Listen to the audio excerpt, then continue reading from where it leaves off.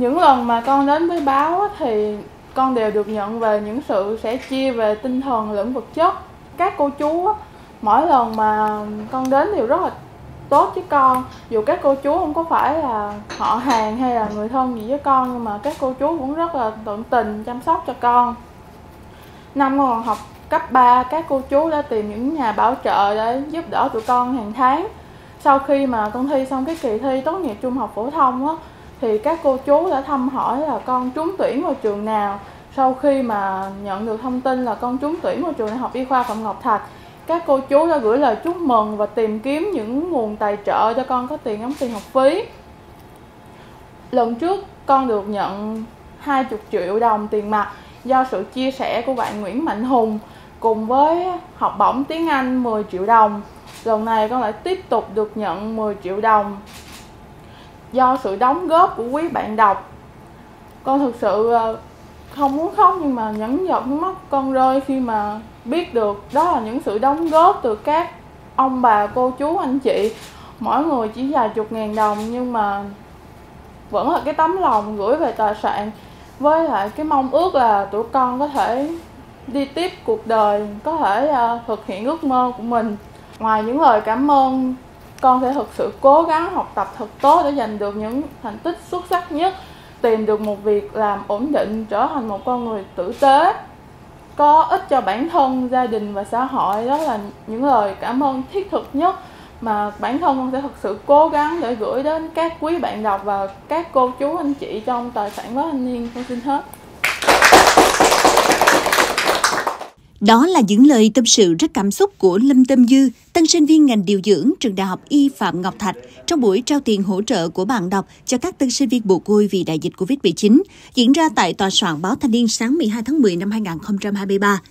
Đây là hoạt động nằm trong khuôn khổ chương trình Cùng con đi tiếp cuộc đời của báo Thanh niên. Nhà báo Nguyễn Ngọc Toàn, tổng biên tập báo Thanh niên, đã trao 42 triệu 105 ngàn đồng tiền bạn đọc ủng hộ cho năm tân sinh viên là năm nhân vật trong loạt bài viết gian nan đường vào đại học trên báo Thanh niên, khởi đăng từ ngày 11 tháng 9 năm 2023.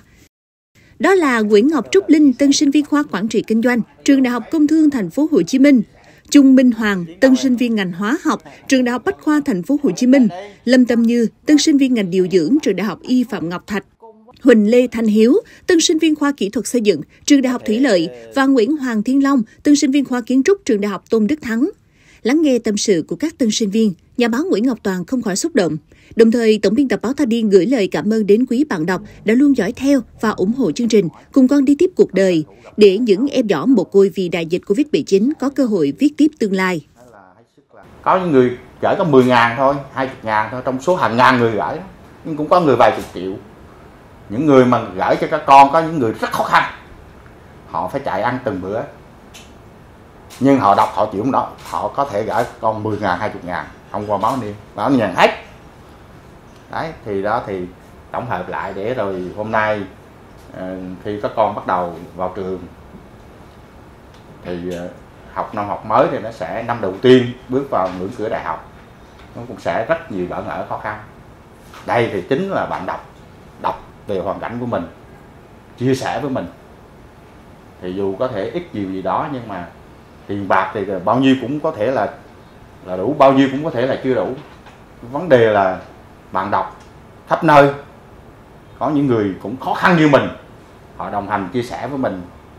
Thì đó là điều rất đáng quý và chú nghĩ đó là món quà vô giá nhất để các con có thể từ đó có đủ bản lĩnh, tự tin sống hết mình, sống tích cực, trau dồi kiến thức, trau rèn luyện kỹ năng, trau dồi phẩm chất để làm gì đó trong mình lĩnh hội kiến thức tốt nhất.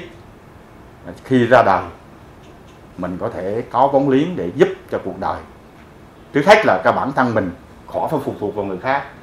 Hai là giúp được cho người thân, gia đình, cho cộng đồng làng xóm. Sau đó nữa là quê hương đất nước. Và nếu được thì sẽ qua lại để giúp lại cho những cảnh đời không khó như mình ngày hôm nay. Sau gần 2 năm phát động, chương trình Cùng con đi tiếp cuộc đời của báo Thanh niên đã hỗ trợ khẩn cấp cho hàng ngàn trẻ mồ côi vì Covid-19, đồng thời là cầu đối để các nhà hảo tâm giúp đỡ các em Sự đồng cảm và sẻ chia đó chính là chìa khóa mở ra ngày mai tươi sáng để những nụ cười ấm áp luôn nở trên môi của các bầm non tương lai.